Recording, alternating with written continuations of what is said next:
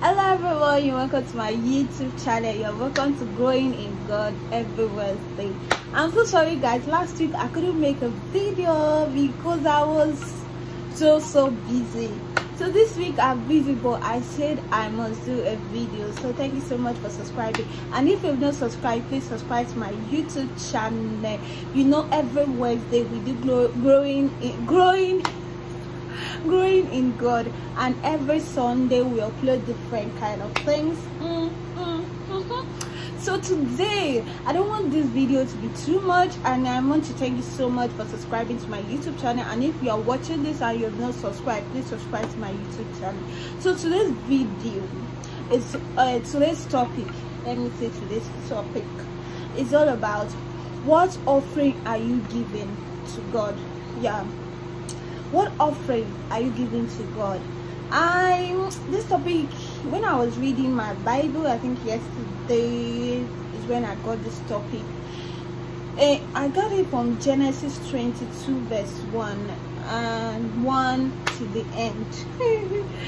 So this thing is just about when abraham is it abraham? Yeah i think abraham and sarah took his son. When god told abraham that he wanted him to sacrifice isaac i'm not going to be reading bibles but i already told you the verse so you can just read it and check it out i'm going to be talking about one or two people that so i'm going to be talking about how um offering what offering are you giving to god when you're giving god offering what offering are you giving to is the offering that god is is the offering that God can accept?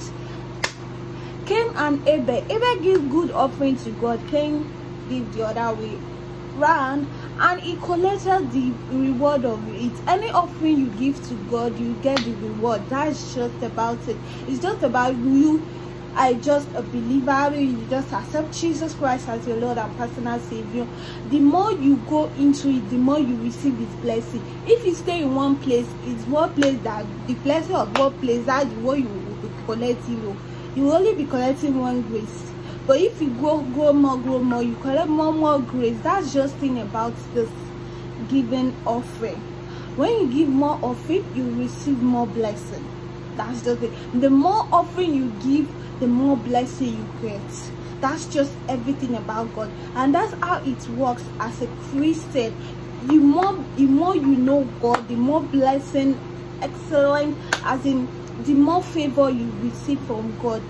I don't know why i'm talking about this but this word god that God, God just want me to tell you that the more offering, the more how you serve Him. So I'm going to round up today's video and telling you that the more offering the more offering you give to god is the more blessing you get. And two the more you serve god is the more you know him more the more blessing you get.